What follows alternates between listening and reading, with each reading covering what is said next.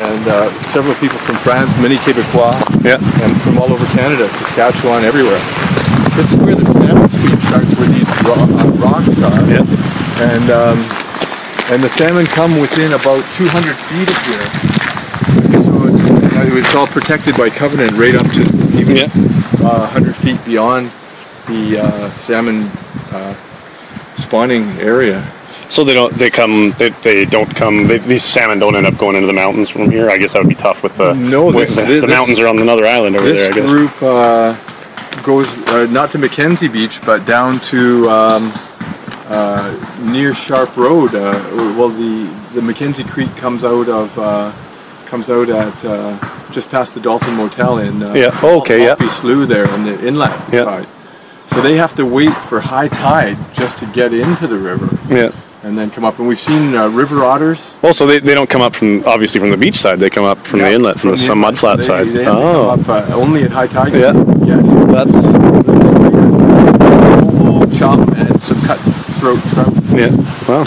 Right away, the first thing I did was put a, a covenant on the stream and Yeah. got some tobacco growing and, uh, and all kinds of just trying all kinds of plants. Another pond here. Yeah. So- Yep. There's uh, four ponds now. These these two are small, uh, they're relatively small.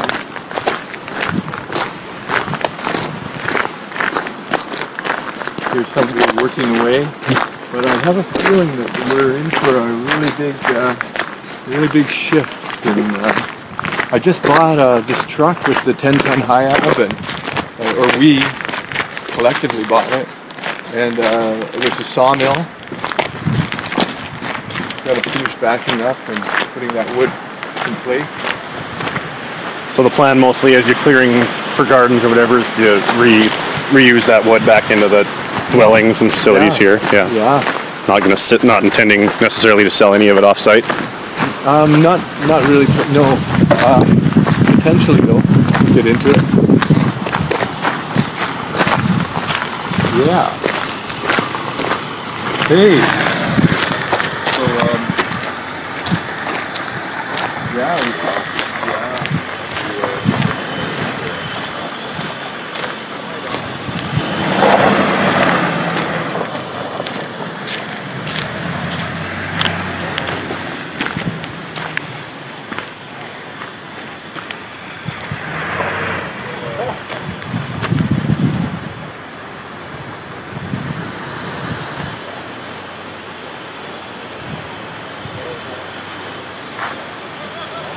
Yeah.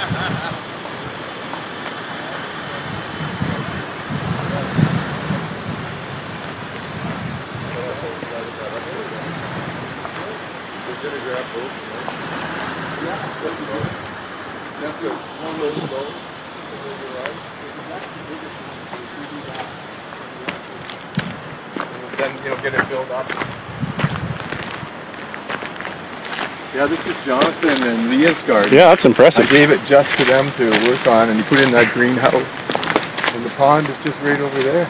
And again, for the sake of the uh, the politics, it's pretty good to point out that there aren't any weed. There isn't any weed growing in your garden. No, no, we, we're very careful about that. Because I know that that's a common interpretation of what's going on out here by a lot of people that haven't been. Yeah, yeah no, it's all uh, edible, uh, mainly edible foods, and some flowers that are, you know, help with, uh, yeah, beet roots. That's quite the sign, eh? Yeah, they're great. I mean, if you're gonna make a sign, you might as well make it a nice sign. Yeah, That's a beautiful bridge. yeah. Carl made that. He made a few of them on salt. Carl Carl. Martin or No, Carl um, uh, McMillan, uh, Quebecois, uh, traveler from Quebec. Very cool. And Salt Spring Island. Yeah, here's the big pond where all our gravel came with it. All right. I think I've heard of this pond. Yep, there's a few goldfish in there. Oh yeah, just don't even see them. somebody had some goldfish in. Yeah, well, Trina from OCN. Oh yeah, yeah. Then oh yeah, she's uh, got a young koi. woman uh, who used to work at the uh, Esso station put them in without asking. But, Yeah. Because we've got two outlets there that go down into the. Uh, down into- but it's a long way to the salmon stream here. Oh, I see. So you wouldn't want to contaminate the. No, not at all. Yeah. But there is a potential for that, so we're being careful. It's another uh, another nice facility there. Yeah, yeah, we just built uh, that greenhouse also. Yeah. All the south facings, like it's just you know well used, smart, Really good. smart building. Yeah. Yeah, that's a pretty nice spot. That's the Needs, thing. Uh, needs some driftwood and some nice finishing. Yeah, my condo, well, it has a bunch of windows. They're all in the wrong place. Nobody really thought about where they were sticking them.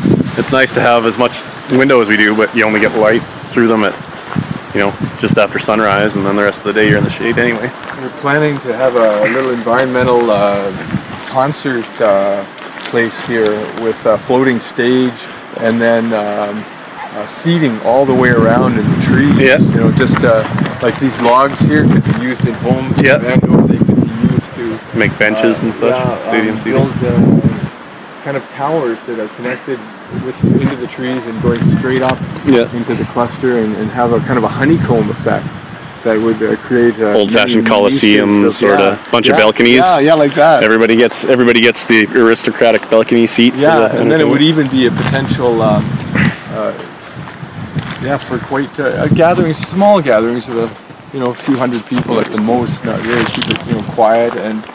Uh, but that's was that's just a, a, another idea, yeah, not quite realized. Although with the crane truck now, we could start moving those log, logs yeah. around. Opens a lot easily. of doors. Yeah. It does.